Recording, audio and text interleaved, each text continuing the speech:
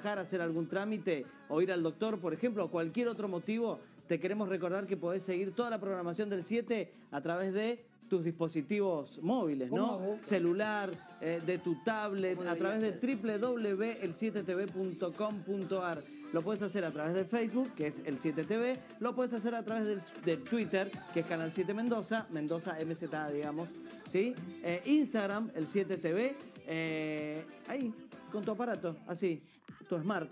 Agarras el celu y, y en la cola, mientras esperas el médico y así, Ah. vas mirando qué pasa, podés retroceder, podés avanzar. Seguinos, nos vemos en el 7.